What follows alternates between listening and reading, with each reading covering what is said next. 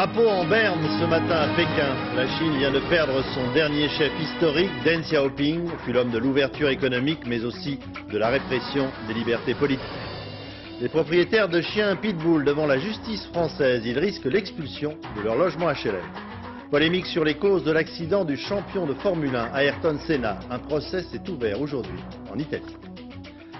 Madame, Monsieur, bonsoir. Avec la disparition à l'âge de 92 ans de Deng Xiaoping, la Chine vient de perdre son dernier chef historique. Compagnon de Mao Tse-tung, victime de la révolution culturelle, il parvint au sommet de l'État à la mort du grand timonier. Et c'est lui, le communiste orthodoxe, qui fit basculer un milliard de Chinois en uniforme du communisme à l'économie capitaliste. Isabelle Béchler, Tristan Lebras, reportage. Pékin, sans larmes ni manifestations, juste une belle journée d'hiver marquée par la mort d'un des dirigeants historiques de la Chine communiste. Les cours à l'université ont été annulés pour cause de deuil national et les étudiants profitent du premier soleil. Eux, à 20 ans, n'ont pas connu Tiananmen et professent un bel unanimisme. Avec la différence d'âge, comme nous avons 20 ans, il nous fait l'effet d'un arrière-grand-père, d'un vieux monsieur gentil. Après Mao, il a été le plus important des dirigeants pour nous, car il a ouvert la voie vers une nouvelle économie. Sans ces réformes, par exemple, moi, en tant que fille, je n'aurais pas pu étudier à l'université. Après sa mort, je pense que les Chinois vont se rendre compte que plusieurs styles de vie s'ouvrent à eux, contrairement à l'existence qu'on leur imposait avant. Pas une critique, pas un bémol. Visiblement, on n'apprend pas à relativiser à l'université de Pékin. Pas plus que dans les journaux du reste. Du moins, un jour d'hommage obligatoire. La presse chinoise n'a pas vraiment de quoi nous étonner. Une seule photo à la une de tous les journaux, la même, et quasiment, à quelques mots près, le même panégyrique de l'homme d'État défunt. Pour le petit peuple de Pékin, pas beaucoup plus d'émotion. Là aussi, la leçon a été bien apprise et il n'y aura pas de dissonance. Vraiment, moi, quand j'ai appris ça, ça m'a fait de la peine.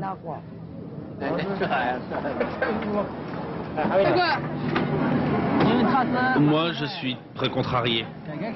Parce que c'est lui qui nous a donné la politique d'ouverture. Il a fait la révolution toute sa vie.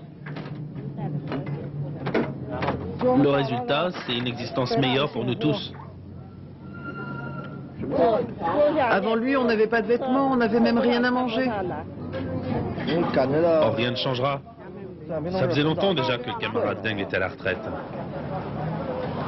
Si tout le monde est aussi persuadé que la mort du patriarche ne changera rien, c'est peut-être que le virage du mieux vivre est déjà pris, et bien pris, et que la consommation est devenue le nouvel opium du peuple. En 92 ans, euh, Deng Xiaoping a connu un parcours politique euh, mouvementé. Il faut savoir que dans les années 1920, comme beaucoup d'autres révolutionnaires, membres de l'internationale communiste, il fit un séjour en France, principalement à Montargis, comme ouvrier à la manufacture Hutchinson, et puis ensuite chez Renault, à Billancourt. Patrice Randen, Gilles Leblair. Il a 17 ans. Pour lui, comme pour des centaines de ses compatriotes, les usines françaises sont le terminus d'un périple. Shanghai-Marseille, 40 jours de bateau, et le début d'une aventure, celle du communisme à la chinoise. 14 février 1922, Deng Xiaoping échoue ici, à l'usine Hutchinson de Montargis. Il y découvre la semaine de 54 heures, salaire, un franc de l'heure. Il partage son temps entre le lycée de Montargis et l'atelier chaussures de l'usine, aujourd'hui reconverti en entrepôt. Il a travaillé euh, à ce qu'on appelait à la chaussure à l'époque, où la, chaussure s'était donc confectionnée à la main et lui euh, fabriquait les semelles. Il faisait un, métier, je dirais, qui était plutôt un métier euh, féminin, pas trop, je dirais, dur, puisque c'était un, petit homme. 1m50. Dans l'album de souvenirs de l'usine Hutchinson, on perd la trace de Deng Xiaoping en octobre 1922. Il a démissionné, direction Paris, pour y perfectionner son français. 2 février 1923, il réapparaît à Montargis. 7 mars, il est viré. Sur sa fiche, l'écriture appliquée d'un contremaître a refusé de travailler, à ne pas reprendre. C'était donc une entreprise qui, sur le plan social, marquait. Je veux dire que les syndicats avaient une forte emprise sur Hutchinson, et quand Hutchinson éternuait, euh, tout, tout, le Loiret avait la grippe. Hein. C'est un peu ça, quoi. Donc, si vous voulez, ça a été un lieu de, lutte et de contestation sociale, Hutchinson. À telle enseigne qu'en 19, il y a eu une grève très dure. Donc, toute personnalité qui venait jeter plus ou moins le trouble dans, dans le climat très, très doux euh, de l'époque, hein, euh, était, était contesté contestable. Et expert en agite-propre, Dingue conteste. À Boulogne-Billancourt, où Renault l'embauche comme ajusteur, Dingue multiplie les adresses. Lorsque le 8 janvier 1926, la police fait irruption chez lui, il a disparu. Direction la Chine via Berlin et Moscou, un long voyage en préambule à une longue marche. Alors que retiendra l'histoire du parcours politique de Deng Xiaoping? Essentiellement euh, qu'il fit basculer son pays du communisme à l'économie de marché, un pari sans précédent dans un pays de plus d'un milliard d'habitants. Homme de l'ouverture, euh, Deng Xiaoping fut aussi celui de la répression des libertés politiques. C'est lui qui ordonna la fin de ce que l'on a appelé le printemps de Pékin en 1989. Didier Pellbaum, Daniel Lévy, Jérôme Bonny. Pékin 1966. En pleine révolution culturelle, Mao Tse-tung est acclamé par des gardes rouges fanatisés. Pékin aujourd'hui, les nouveaux bourgeois se retrouvent dans les karaokés, souvent tenus par la police. Entre ces deux images, il y a Deng Xiaoping, plus discret mais aussi révolutionnaire que Mao. Il convertit le pays le plus fermé du monde à la course à l'argent. Fini les défilés militaires coup de frein aux grands travaux d'intérêt général. La Chine s'ouvre aux investisseurs étrangers, par exemple Citroën, avec l'AX.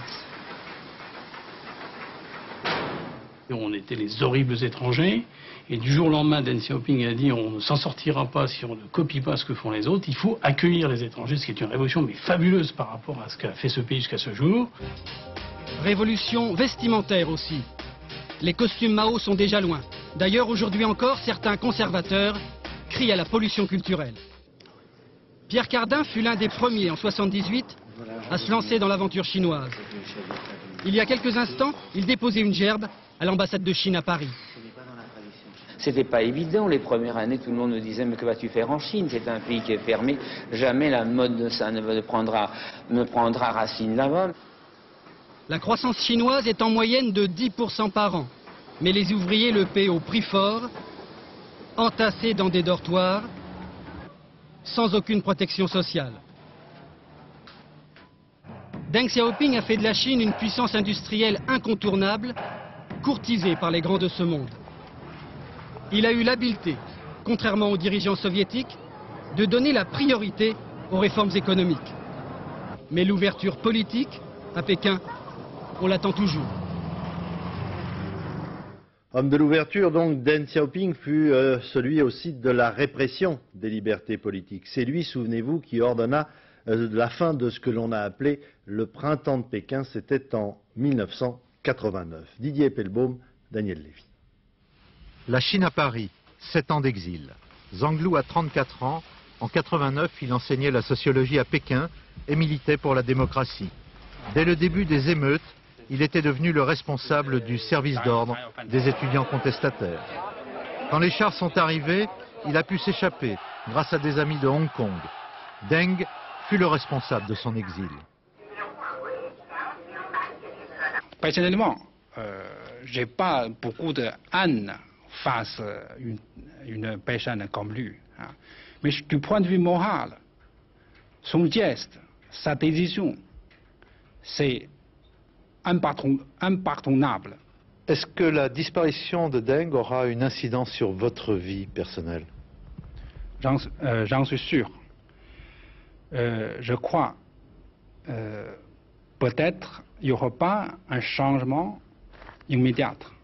Mais du point de vue historique, sa mort, certainement, va favoriser mon retour en Chine. Un autre dissident qui habite ici, en Californie, espère. Harry Wu, 19 ans de travaux forcés. Pour lui, la mort de Deng, c'est tout simplement la mort du communisme chinois. Il ne croit pas que dans l'immédiat, la disparition du leader historique sera suivie d'une répression accrue de la dissidence en Chine. Dans tous les Chinatown du monde, on sait qu'une nouvelle ère s'ouvre pour la Chine, mais l'espoir de liberté reste fragile. En direct avec nous de Pékin, notre correspondante Isabelle Béchler. Isabelle, bonsoir. Euh, c'est peut-être, c'est sûrement un signe des temps. Deng Xiaoping, le dernier leader euh, charismatique du communisme chinois, va être enterré plutôt discrètement. Oui, un peu en moins grande pompe peut-être que le grand timonier, que Mao Tse-tung, mais il y aura quand même 10 000 personnes qui vont euh, rendre hommage à ses cendres mardi prochain à Pékin. Euh, mais il y a effectivement quelques dispositions particulières. Deng Xiaoping a, tenu à ce que son corps soit donné à la médecine, à ce que ses organes puissent servir, et en particulier, il a souhaité que ses cornets puissent servir à une greffe, ce qui est un peu surprenant. Ensuite, il souhaite que ces cendres soient dispersées au-dessus de la mer. Aucun euh, dignitaire ne sera, aucun dignitaire étranger ne sera autorisé à, ne sera convié d'ailleurs, ne sera euh, invité pour ces funérailles. Même euh, les partis frères, même les responsables des partis frères ne seront pas conviés. Merci Isabelle. Retour en France maintenant avec les autres titres de l'actualité. Un policier tué, quatre personnes blessées, c'est le bilan d'une fusillade hier soir dans le centre de Lyon. À l'origine de cette fusillade, un repris de justice de 32 ans qui a pu être maîtrisé par la police. Romal Bonan, Didier Guyot. C'est avec cette 205 blanche volée vers 20h hier dans le nord de Lyon que le malfaiteur a voulu fuir juste après un braquage. Mais une demi-heure plus tard, l'individu pris en chasse par la police perd le contrôle du véhicule sur un quai du Vieux-Lyon tout à coup, euh, on a vu une voiture qui arrivait. Je me suis dit, c'est tout à fait anormal de voir cette voiture arriver à contresens. Et elle arrivait très très vite. Il y a eu des chocs. Et puis euh, après, il est arrivé en glissade. Il s'est euh, arrêté contre nous finalement après avoir rebondi sur quelques voitures, là, sur le côté. L'homme réussit quand même à s'extraire de la voiture et n'hésite pas à tirer en direction de passants qui tentent d'intervenir. Pour continuer sa cavale, il s'empare alors d'un second véhicule dans lequel se trouvent deux femmes. On arrivait là sur le quai, et puis ma fille me dit, mais ça, on dirait des pétards. Et puis, subitement, on a vu cet individu devant nous qui a mis son revolver sur le pare-brise euh, devant la figure de ma fille. Quelques minutes plus tard, deux policiers de la brigade motorisée lyonnaise surgissent. Plusieurs coups de feu sont échangés. Patrick Fillon, motard de 35 ans et père de deux enfants, est grièvement touché au cœur. Il succombera à ses blessures lors de son transfert à l'hôpital. L'auteur de la fusillade, un Corse de 32 ans a déjà été condamné deux fois à 5 ans de prison ferme pour vol et association de malfaiteurs. Il était activement recherché pour avoir blessé en décembre dernier des gendarmes dans l'Hérault. Ce repris de justice, atteint d'une balle près de la colonne vertébrale, devrait être entendu dans les heures qui viennent. Les propriétaires de chiens pitbull particulièrement agressifs se sont retrouvés aujourd'hui devant le tribunal d'instance d'Antony dans les Hauts-de-Seine. Les sept personnes assignées sont susceptibles d'être expulsées de leur logement car ces animaux sont interdits par l'office HLM du département. Le verdict a été repoussé au mois de mai prochain. Patricia Charnelet, Pascal Steleta. Qu'est-ce que je fais de mon chien, monsieur ben vous en... Sois barré, je vais le piquer, mon chien Mais, retournez-vous vers la SPA Confrontation très vive à la sortie du tribunal d'Antony. À l'origine de cette polémique, la décision de l'office HLM de Montrouge d'interdire la possession des pitbulls, bulles terriers, American Staffordshire et Rottweiler. Faute de s'en débarrasser, leurs propriétaires doivent quitter leur logement. Nous avons eu euh, au cours de l'été 96 de très nombreuses plaintes de locataires. C'est ce qui m'a conduit à proposer au conseil d'administration l'adoption d'un règlement intérieur. Ce n'est pas une décision que j'ai prise seule. Deux des familles qui comparaissaient aujourd'hui ont décidé de se séparer de leur chien. On a réussi à trouver un petit arrangement. Euh, moi j'ai laissé mon chien chez une personne le temps que je trouve un boulot, comme j'ai envie de faire maître chien et voilà quoi. Les autres, soutenus par d'autres habitants des cités, semblent pour l'instant décidés à garder leurs animaux. Dans les cités, les gens, ils n'ont rien, ils, ont plus rien à faire, ils n'ont plus de boulot, ils n'ont plus rien, ils, se, sont focalisés sur leurs chiens. Laissez-les s'occuper de leurs chiens. Bon, s'il y a des problèmes, à ce moment-là, les problèmes, il faudra les régler. Les futurs jugements qui seront rendus intéressent de nombreux offices HLM. Certains interdisent également ces chiens. D'autres préféreraient une loi qui imposerait les mêmes règlements à tous les Français. Parallèlement à ce procès, une association s'est créée pour tenter d'expliquer aux maîtres de ces chiens, euh, qui peuvent se révéler féroces, qu'ils doivent, eux et leur animal, adopter un comportement moins agressif. Mathieu Huchet, Michel Levasseur, reportage. C'est un joueur. Ah, ben c'est pas ce qu'on dit. En général, on dit que c'est un chien... Euh, un chien agressif, non, ça dépend du propriétaire. Brigitte Echeverry forme et éduque des chiens depuis 25 ans. Aujourd'hui, devant le malaise engendré par les pitbulls, elle a créé une école du chien pour apprendre aux jeunes à ne pas transmettre leur agressivité au bout de la laisse, surtout quand l'animal montre déjà des signes de nervosité. À cause justement de sa pathologie, dans peu de temps, elle pourrait effectivement pas devenir agressive dans le sens agressif, elle pourrait effectivement... Euh, bah, je sais pas, se bastonner avec euh, un autre chien sans raison, elle pourrait rentrer en conflit avec quelqu'un, tu vois ce que je veux dire Hans, doucement, doucement. C'est bien, Hans. Ici, pas de travail de musculation ou de traction. On vient apprendre des gestes simples et les quelques mots qui donnent un chien équilibré. Doucement. C'est vrai que ce chien a une agressivité euh, euh, latente donc à la base, mais c'est au maître de faire travailler le chien en l'habituant aux autres chiens et en faisant en sorte d'être calme et posé avec lui pour que le chien soit calme et posé aussi. C'est bien beau de l'emmener au dressage, c'est bien beau de le faire mordre, c'est bien beau de le faire obéir, tout ça, mais aussi il faut comprendre, c'est l'aspect euh, psychologique. Il faut maintenant convaincre les élus des banlieues qui optent plus souvent pour une interdiction pure et simple. À partir du moment où on va interdire ces gens-là, ça n'empêchera pas le trafic. De toute façon, des gens qui auront entre une ou deux ou trois femelles dans leur appartement et de faire reproduire ces pauvres chiens, on va se retrouver avec une consanguinité énorme. Et là, on aura beaucoup plus d'accidents qu'avec d'autres chiens. Un travail de longue haleine pour persuader aussi les jeunes qu'un chien n'est ni une machine à mordre, ni une arme. Et l'on reparle de l'affaire du match truqué VAOM avec la comparution aujourd'hui devant le tribunal de Valenciennes de Jacques Mélic, ancien député maire de Béthune, accusé de faux témoignages qu'il a reconnu d'ailleurs à propos d'un rendez-vous avec Bernard Tapie pour fournir un alibi au président de l'OM. Le procureur a réclamé aujourd'hui 15 mois de prison avec sursis pour témoignage mensonger. Valérie Hermite, Bernie Merriot. C'est un peu le nouveau visage du nouveau Jacques Mélic. Seul, presque humble et repentant. Rien à voir avec le Mélic d'il y a deux ans. En plein procès au MVA, Corinne Krajewski, son ancienne attachée parlementaire, venait d'avouer qu'elle n'était pas dans le bureau de Bernard Tapie le 17 juin 1993, qu'elle lui avait servi d'alibi à la demande de Jacques Mélic. Mais malgré ses aveux, Jacques Mélic, devant la justice, arrogant et provocateur, maintenait sa version et son mensonge jusqu'au bout. Aujourd'hui, deux ans plus tard, il regrette amèrement, dit-il. C'était une terrible erreur. Je n'ai jamais mesuré la gravité de ce faux témoignage.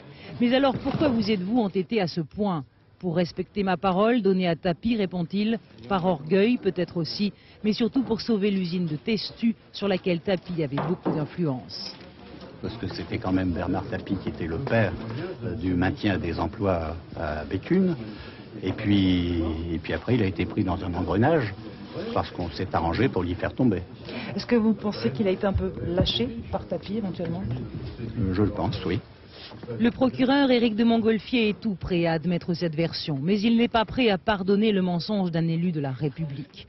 Vous avez porté atteinte à la justice, dit-il, et par là, vous avez affaibli la démocratie. Et il requiert contre Jacques Mélic 15 mois de prison avec sursis et 3 ans d'interdiction de témoigner. C'est un peu la dernière chance pour Jacques Mélic. S'il échappe à une peine d'inéligibilité, ce retraité de l'Assemblée nationale, comme il se présente lui-même, pourra peut-être retrouver le chemin des urnes en 1998. Décision de justice aujourd'hui. L'affiche du film de Milos Forman, Larry Flint, montrant euh, un homme euh, les bras en croix entre les cuisses d'une femme largement dénudée, ne sera donc pas retirée de l'affiche. Ainsi en a décidé aujourd'hui le tribunal de Paris.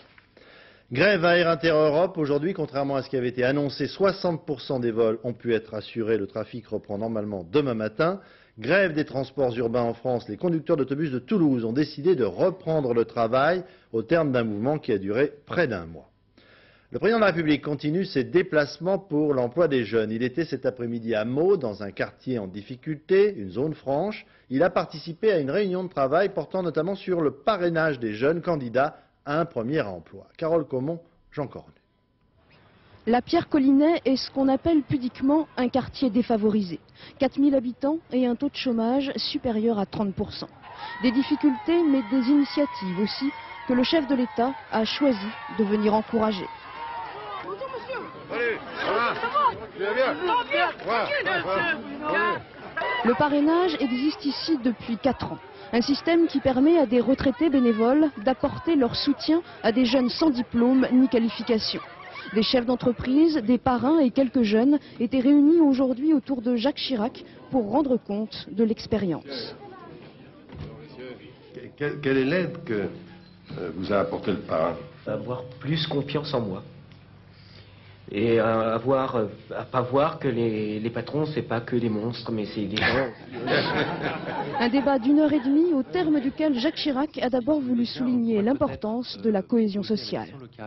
Nous sommes arrivés à un point de fracture, d'éclatement, euh, d'insuffisance, euh, considération à l'égard de l'autre, d'intolérance, qui fait que tout naturellement le balancier peut revenir, et ceci sous la forme d'un renforcement.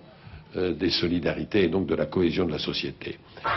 Combattre la fracture sociale, un thème qui avait déjà fait le succès du candidat Chirac et qui semble déjà annoncer d'autres échéances électorales. Le débat sur la loi Debré renforçant le contrôle de l'immigration en France. Trois déclarations aujourd'hui. Euh, Lionel Jospin estime que le pas en arrière du gouvernement est faible. Jean-Louis Debré, le ministre de l'Intérieur, demande aux socialistes d'arrêter les amalgames, les mensonges et les hypocrisies. Enfin, euh, Michel Rocard, dans le journal Le Monde, écrit La gauche doit changer totalement de discours. Il faut établir une politique d'immigration limitée, calculée et contrôlée, adaptée à nos besoins et à nos moyens. Cohabitation explosive ce soir de deux réunions à Paris. Le Front National a réuni, est réuni à la salle de la Mutualité et à quelques pas de là, à la Sorbonne, des étudiants sont également réunis. Jeff Wittenberg, Michael Larmont. Qu'aujourd'hui en France, un certain nombre de personnes parlent d'invasion, qu'un certain nombre de personnes parlent d'odeur, le ton est donné. Le rassemblement des étudiants ne fait pas vraiment le tri. Des propositions du Front National au futur projet Debré sur l'immigration. Pour eux, ils sont environ un millier ce soir à la Sorbonne. Pour eux, tout cela procède du même esprit. On a tendance à penser qu'effectivement, que ces lois sont faites en quelque sorte pour essayer de, de baisser les voix du Front National. Mais au contraire, ça accentue. Puisqu'ils se disent, tiens, nous on le dit, et ils le font. C'est-à-dire qu'on a raison. C'est une manifestation contre le FN, mais aussi contre la lepénisation des esprits. Une mobilisation plutôt faible en tout cas, mais une détermination maximum. Les plus remontés, militants d'extrême gauche en tête, sont décidés à aller perturber le meeting que Jean-Marie Le Pen tient ce soir à quelques centaines de mètres de là. En vain, les CRS feront barrage. Et on peut même pas aller voir euh, Le Pen à la mutualité. C'est impossible. En 15 secondes, on nous barre la rue. Alors qu'on n'est pas violent, on veut juste dire on n'est pas d'accord avec ça. On veut pas de ça en France. Il n'y aura donc pas de face-à-face dans quelques minutes. Quelques 2000 personnes vont venir entendre le président du FN parler de son programme social à la mutualité et sous haute surveillance policière. Le magazine Envoyé spécial sur France 2 diffusera bien ce soir le reportage consacré au Front National. Le juge des référés a rejeté la demande de Jean-Marie Le Pen qui voulait opérer des coupures dans ce document que je vous invite à regarder ce soir à partir de 20h50 sur France 2. Ultime négociation ce soir entre syndicats de médecins et la caisse d'assurance maladie pour établir une nouvelle convention. Pour la première fois, des sanctions financières pourront être prises à l'encontre de médecins qui auront dépassé euh, les objectifs fixés en concertation par la négociation. Certains médecins restent violemment opposés à ce principe. Reportage Laurent Bailly, Emmanuel Beck. Ce malaise, vous l'avez eu euh, ce matin Le malaise, c'est aussi du côté des médecins qu'on le trouve. Avec la nouvelle convention, généralistes et surtout spécialistes devront avoir le stylo plus léger sur les ordonnances. Car s'ils dépassent les objectifs, ils devront rembourser de leur poche la différence. Voilà, 110 francs. Cette sanction financière, c'est une première en France et certains médecins la dénoncent. Ce qui est choquant, c'est qu'en fait, euh, avec ces sanctions, notre intérêt financier à nous va devenir complètement contradictoire avec l'intérêt des patients. Bon, il existe un médicament qui vient de sortir, qui est très efficace contre le zona, mais dont l'indication de mise sur le marché est personne de plus de 50 ans immunocompétente. Ça veut dire quoi? Que si mon patient a 49 ans et si je prescris ce médicament qui je sais est efficace, on pourra me demander à moi de le rembourser de, ma poche. Elle aussi est médecin, mais Danielle Fontaine travaille pour la Sécu comme 2000 autres médecins conseils. Sa mission, c'est justement d'éplucher les ordonnances des médecins de ville. Elle vérifie que les médicaments sont adaptés, mais aussi qu'il n'y en a pas trop et qu'ils ne sont pas trop chers. Danielle Fontaine se veut avant tout médecin et pas comptable, mais elle trouve normal de se préoccuper des coûts. Qui dit médecin ne dit pas forcément de ne pas euh, s'intéresser aux coûts de la santé. Au jour d'aujourd'hui, dans le contexte socio-économique actuel, l'assurance maladie, je pense qu'il est normal que tout un chacun, que tout contribuable, tout salarié, sache euh, euh, pourquoi il paye des cotisations sociales. Il est normal que l'assurance maladie connaisse ce qu'elle rembourse. Dépenser moins, mais en maintenant la qualité des soins, comme l'affirme la Sécu, c'est tout le pari de la nouvelle convention, un pari difficile à tenir. Nous sommes à la veille de l'ouverture du Salon de l'agriculture. Il y a tout juste un an éclatait la crise dite de la vache folle, avec une conséquence économique euh, immédiate, l'effondrement des ventes de viande de bœuf en France. Un an plus tard, le marché est revenu pratiquement à son niveau d'avant la crise, même si des séquelles de cette affaire n'ont pas complètement disparu. Jean-Yves Perrin, reportage. À bientôt, bonne journée. 1,5 kg, à la fin d'un kilo Vous le a eu une mauvaise année, une chute de chiffre d'affaires, et puis euh, bon, ben, les gens qui n'étaient pas trop euh, disposés à acheter du bœuf, ben, principalement, là, ça a l'air de revenir tout doucement. Les Français reviennent donc petit à petit vers le bœuf. Après la chute catastrophique d'avril dernier, moins 35%, la consommation de bœuf a progressé doucement jour après jour. En janvier 97, dernière estimation en date, le déficit de consommation n'était plus que de 8%. Serait-ce le résultat d'un an de promotion de l'élevage français Non, non, les gens ne sont pas très sensibles à cette histoire de, provenance, de région. Ce qu'ils veulent, c'est que ce ne soit pas de la viande anglaise. Les gens rentrent pas en nous demandant je veux du charolais ou du limousin. Non, non, pas chez moi. Dans le Massif central, côté éleveur, cette désaffection des consommateurs a fait craindre le pire. Sur le marché de Mauriac, la saison de vente des broutards touche à sa fin. 240 animaux au lieu des 500 habituels. Des broutards plus vieux et plus lourds qu'en été, plus de 10 mois et près de 400 kilos. Gilbert Fauché joue gros ce jour-là. Il présente 11 bêtes, le quart de sa production annuelle. Il espère bien tirer 4800 francs de chaque broutard. Négociation. Dis-moi combien tu veux juste 48. Des comme du cul. Hein C'est des comme du cul. 22 au kilo. Oh, 13. Je vais vendre 13 balles. C'est vrai que c'est pas le prix. Eh si, si. Non, non, non, mais il n'est pas question de faire. Il veut pas. Non, mais tant pis. 47 ou 13. 45 demi. Après deux heures de discussion, il laisse ses animaux à 4600 francs pièce soit 12 francs 50 le kilo, comme en janvier 96 avant la crise de la vache folle. En août dernier, ce type de broutard était payé à peine plus de 10 francs. Pas paysan pour rien, Gilbert est pourtant un peu déçu. Il aurait mieux valu les avoir il y a 15 jours, les veaux, qu'aujourd'hui. Il y a 15 jours, ça marchait, aujourd'hui, ça ne marche pas. À l'heure du bilan, Gilbert Fauché affiche tout de même un manque à gagner de l'ordre de 40 000 francs par rapport à l'an passé. Et ce malgré des aides exceptionnelles décidées en juin et en octobre par l'Union européenne. La somme a été doublée par les autorités françaises et semble avoir permis aux éleveurs cantaliens de passer un cap difficile. Le bilan euh, n'est pas négatif, certes, mais on n'a traité que le court terme.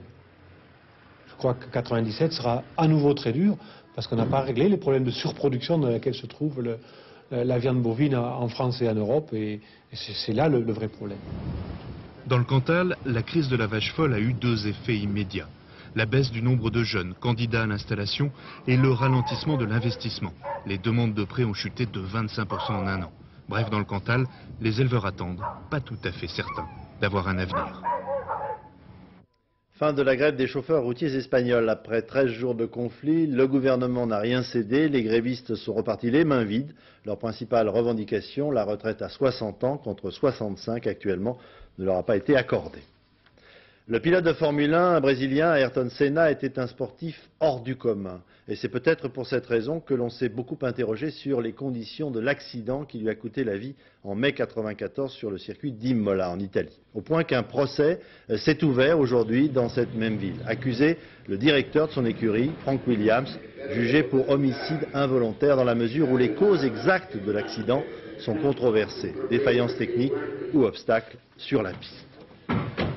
Trois ans après sa mort, donc, Ayrton Senna reste, le mot n'est pas trop fort, une véritable idole au Brésil et dans beaucoup d'autres pays dont la France. Et pour lui survivre, il avait créé une fondation destinée à aider des jeunes qui n'avaient pas eu la chance, comme lui, de naître dans une famille aisée. Notre enquête de ce soir, menée par Laurent Frédéric Bollet et Philippe Veillescaz, est intitulée L'héritage d'une idole.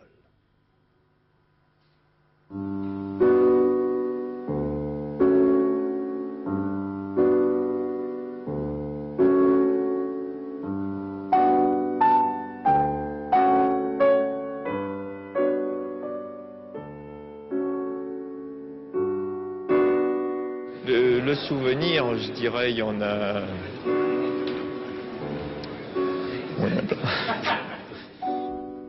On disait de lui que c'était un dieu vivant, ce n'est plus qu'un homme mort, un nom sur une plaque que l'on nettoie deux fois par jour au jus de citron. Ayrton Senna repose au cimetière de Morumbi, à Sao Paulo, sa ville natale. 33 mois après sa mort, on y vient toujours se recueillir et fleurir une tombe isolée des autres. À l'extérieur, les marchands de souvenirs se sont installés, mais les touristes s'y arrêtent de bonne grâce. Je suis venu voir quelqu'un qui, faisait partie de ma famille. C'était aussi fort que ça pour moi. Au moment de sa mort, je m'étais promis de venir, donc euh, je suis là, voilà. Je m'étais promis, c'est fait. Sao Paulo, mégalopole inconsolable. La cité a perdu son prince de la vitesse, celui qui brandissait le drapeau brésilien à chacune de ses victoires. Senna, le fils de bonne famille devenu l'idole de tout un peuple par la magie d'une personnalité inclassable. Le mythe se perpétue tout seul. Gésario, le peintre de quartier, passe des heures à dessiner des voitures. Les voitures d'Ayrton sans Ayrton. Vous voyez bien que sur ce tableau, il manque quelque chose. Il est vide. Mais je ne vais pas mettre Ayrton ici. Je ne peux pas. Ici, c'est son absence. C'est tout. Œuvre d'artiste, amateur ou professionnel. Photos, livres, sculptures, les objets se sont multipliés. Et dans les fan clubs de Sao Paulo, on rencontre toujours ceux qui veulent lui ressembler, ceux qui sont nostalgiques. Des hommes et des femmes pour qui l'absence d'Ayrton est plus présente que sa présence même. Au même moment, à des milliers de kilomètres, quelque part dans Paris, un restaurant où l'on s'est réunis. Autre lieu, autre fan club, mais la motivation est la même. Les Amis d'Ayrton existent depuis 6 ans. 450 adhérents dans toute la France. Des rencontres, une petite publication, des objets souvenirs. Au pays de Prost, on aimait aussi Sénat. Je voulais faire quelque chose pour lui. On ne pouvait pas rester en tant qu'adhérent parce que adhérent c'est recevoir et moi je voulais donner quelque chose à mon tour euh, comme si je voulais un peu rembourser tout ce qu'Ayrton avait pu faire pour moi quoi enfin tout, pour, pour ma passion.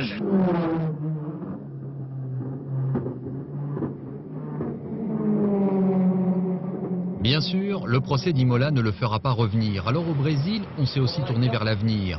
Senna était riche, généreux. Ainsi est née une fondation qui elle-même a créé l'Institut Ayrton Senna. Son but, tel que le voulait le triple champion du monde, venir en aide aux enfants pauvres du Brésil.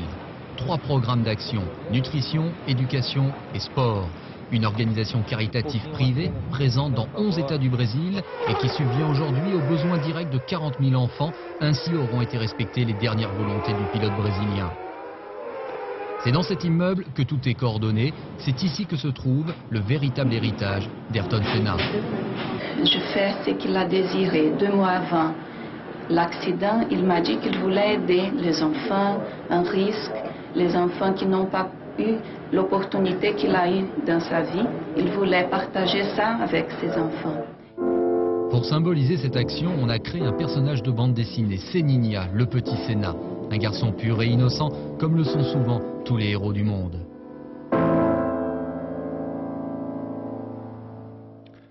Le mauvais temps en Grande-Bretagne a fait 5 euh, victimes, 5 morts et de très importants dégâts. Des vents de force 7 à 8 soufflés sur la Manche. Ils ont abordé la côte sud du pays avant de traverser.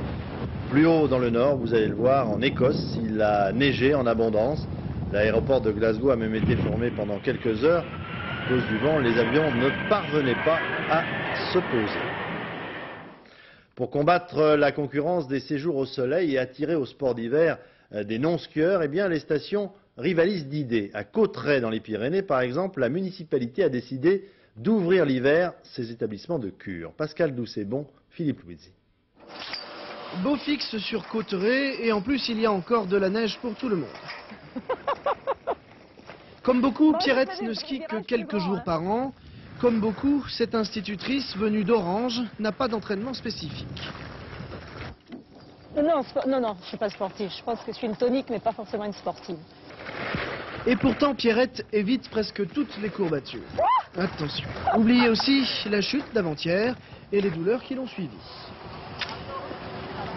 C'est génial ça. Regardez-moi ça de là-haut là. T'as plus mal à l'épaule J'ai plus mal, j'ai plus mal nulle part. Voilà. L'explication est dans les bulles. Depuis six ans, les termes de Cotteret sont ouverts aux vacanciers. Là, ce sont des jets d'air qui massent de haut en bas la colonne vertébrale de Pierrette. J'imaginais pas que ça pouvait faire un effet pareil. Le bonheur Tous les après-midi, les curistes laissent place aux vacanciers pour visiter saunas, baignoires à bulles, piscines âgées, le tout alimenté par la source d'eau chaude au soufre qu'offre la montagne. Il s'agit en fait surtout de prendre du plaisir et d'éviter les accidents musculaires. C'est une continuité de leur journée de ski. Parce qu'ils sont, fatigués et, et ils reviennent faire les prestations ici et ils sont vraiment enchantés parce que ça leur remet les jambes en condition pour le lendemain. Dans leur compétition avec les Alpes, les Pyrénées offrent donc peut-être moins de neige, mais de l'eau chaude, du soufre et de la bonne humeur. Voilà, bah, j'ai envie de chanter cette dame. Dans un instant, la météo, Sophie Davant, puis le point route Valérie Maurice, 20h50. Donc envoyé spécial, le magazine de la rédaction, avec notamment ce soir un reportage sur euh, le Front National. Donc 0h20, l'édition de la nuit. Philippe le fait. À 13h demain, vous retrouverez Patrick, Patrick Chen, pardon. Et puis euh, demain soir, ici à cette même place, Bruno Mazur. Je vous souhaite une excellente soirée sur notre chaîne. Bonsoir.